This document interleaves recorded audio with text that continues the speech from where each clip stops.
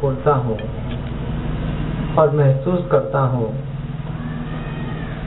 जैसे हम ईश्वर को महसूस कर सकते हैं, हवाओं को महसूस कर सकते हैं, देख नहीं सकते, वैसे हम शांति को महसूस कर सकते हैं, एकाग्रता को महसूस कर सकते हैं। और यह महसूस करने का अभ्यास यदि निरंतर जारी रहे जीवन में तो हम इसके लाभ को भी अपने जीवन में देख सकते हैं। हमारे आचरण, हमारे विचार, हमारे व्यवहार से दूसरा भी प्रभावित होकर के यह कहता है कि अमुक व्यक्ति का आदर्श, जीवन एकदम आदर्श से युक्त हो गया। हमें वैसे ही बन करके वैसे ही प्रकाश पुंज बन करके वैसे ही अंधेरे से प्रकाश की तरफ़ जाना, अज्ञानता से ज्ञान की तरफ़ जाने का संकल्प लेते हुए धीरे धीरे आँखों को खोलते हैं। और महसूस करिए कि मैं तीन चार मिनट में केवल सांसों पे ध्यान टिका करके वाह आसक्तियों से अपने आप को मुक्त करके और परमात्मा के साथ युक्त होने का जो प्रयत्न किया, प्रयास किया, वह वास्तव में यदि ऐसा जीवन भर चले तो मेरा जीवन सफल हो सकता है। अब आँखों को खोल करके और महसूस करिए, आँखों को खोलते समय आपको विराट, दिव्यता का अनुभव होता है। उस परमात्मा के विराट स्वरूप का दर्शन होता है। और धीरे धीरे आँखों को खोल लिया। एकाएक कभी भी ध्यान के बाद झटके से आँख नहीं खोला जाता है।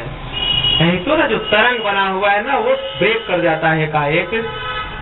तो धीरे धीरे पलकों को हटाते हैं, पंखुड़ियों की तरह। और जब आँख जो खुल जाए, तब जा करके हम सामान्य स्थिति में आ जाते हैं। आप लोगों को इतने मिनट में लगा कुछ शांत जैसा मन को। लग रहा है कोई शांति जैसा भाव?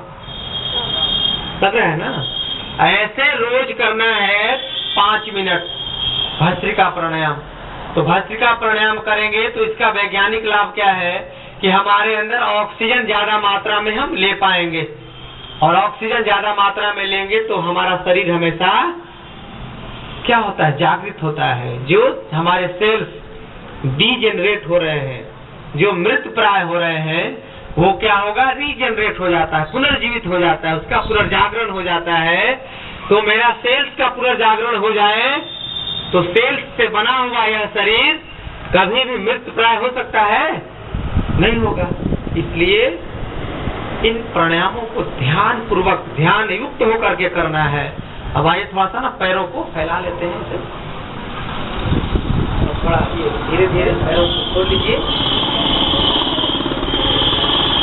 ताकि किसी का पैर जब भर गया हो तो ये कैसे भी ले वीडियो बना लेगी पीछे भी ले ले। वीडियो जब रोकना हो तो उसी को ठीक रहेगा तो रुक जाओ। हाँ फ़ोटो खींच ले ले। अभी नहीं जब कोई अभ्यास कराएगा सर ओ। वीडियो भी ज़्यादा नहीं दो तीन मिनट से नहीं ज़्यादा लेना। ठीक है, ठीक है। है। ओ,